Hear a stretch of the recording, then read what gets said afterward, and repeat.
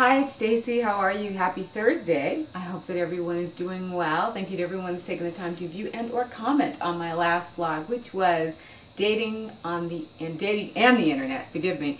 And so thank you to From, John, Baby Gravity, Ephraim, Tide, Mirror, Site, Linnell. Um, thank you, Linnell, for sharing your uh, site with us, Date to Mate. Um, dot com. uh, One Love, Arthur, Shelley, Barry, Jack, Roger, Robbie, Triana, and Sharon. Thank you. Um, so the last blog was about dating and the internet, which uh, got some interesting comments. And so divided. Uh, some people think it's all great and have met interesting people on the internet, and some people feel that that's not the way to meet. I'm like I said, I, I think you find love where you find it. I just think that sometimes we go into um, pretend mode on the internet. Just, just my own thoughts. Anyway, okay, so, um, keeping along with the subject. Actually, not really keeping along. I had a conversation with a friend today and, and, and another friend last week. And so something crossed my mind about relationships that uh, I found really interesting, which was how we try to fit the circle into the square, you know? And we try to make something work when the red flags are just waving, you know what I mean? And you can see them, and yet we're going, but, you know, and this and that, but, but yet, you know, okay, I know about that, and I don't like that, but, but then there's this, and sometimes I think we try so hard because we so don't want to be alone, and we so believe that you know love is out there for us which we should but we have to believe that the right person is out there for us there's somebody out there that you don't have to work that hard to be with it kind of just happens and if any of you ever read the comments that arthur leaves um, which is i think he changed his name on his myspace page to my love child but he always talks about his wife and the amazing relationship that they have and how they communicate with one another and how well they get along. And I think that's what a relationship is. It's the one that I always say the best relationships are the ones where you start out as friends and then love kind of blossoms. You get to know each other um, and you aren't working as hard as at it as, you know, I think as we get older and we're alone, and especially when all your friends are in relationships, then you really want one more because you don't want to be the third wheel. And then I think we start settling just to have a date as opposed to holding out for what's right for us. The thing, the person that is going to make us feel good and accept us as we are. Which is why I always start with you got to know yourself, you got to love yourself, and you got to know what's important to you. You have to know what you want. Because when you are confident in who you are, those crazy people can't get in your life. And I'm using the term crazy and forgive me, but those people that shouldn't be in your life won't be in your life.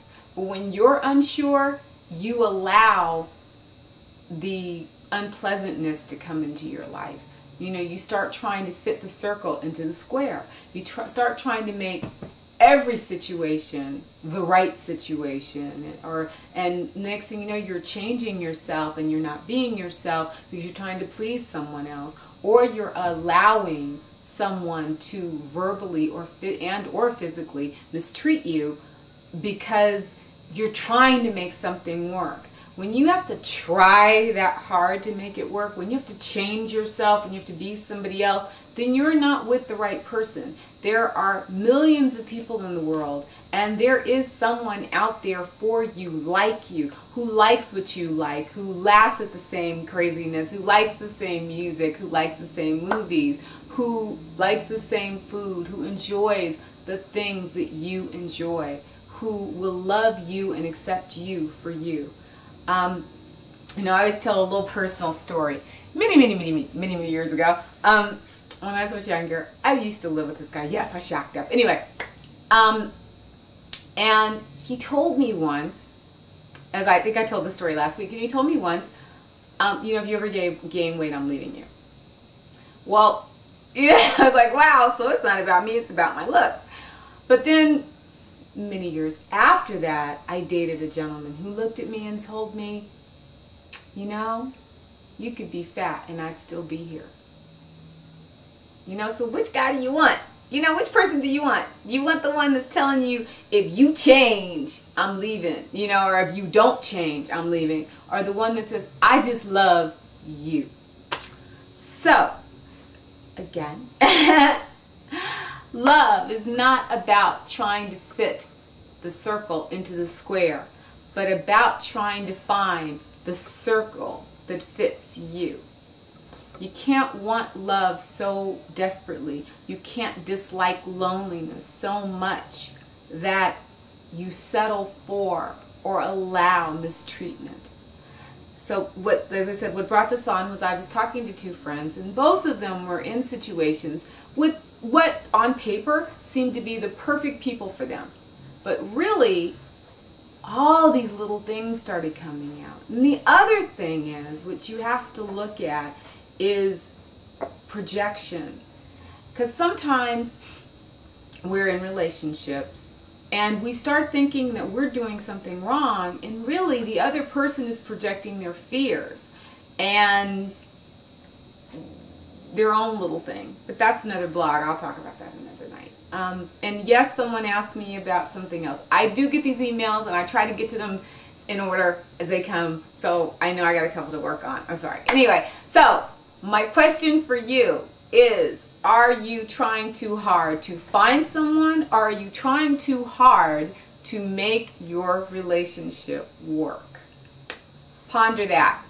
I'd like to know. Um, and thank you everybody for your comments about the internet. I found them very interesting and how we all look at you know, this new dating thing, how the world has opened up. But what do you do with that, right? Such a strange thing. Anyway, so are you are you trying too hard to make something work or to find something? Let me know. I'd love to hear. Ponder that. Have a most amazing weekend. I know Christmas is coming up. Get your shopping in. Do what you got to do. And Hanukkah. Um, Kwanzaa. so get all your shopping in. Do what you got to do. Be safe. And by the way, I don't know what city people live in, but I live in Los Angeles, as some of you know. And just on a safety note, please be careful because the holiday seasons are always a little more dangerous because there are predators out there. And also for those of you, in, at least in Los Angeles, I'm sure you've heard on the news, and actually one of my family members was a victim of this a couple of days ago, the new home invasion thing. So be really careful. Don't just open your door to anybody. Uh, apparently now they're, they're coming in packs of like three and four. They're knocking on the door and they're going for there. So be really, really careful. Um, actually, my aunt was a victim of that last night. Luckily, she drove up and saw, could see them in the house and was able to drive away. So, ooh, you know, she was being watched over.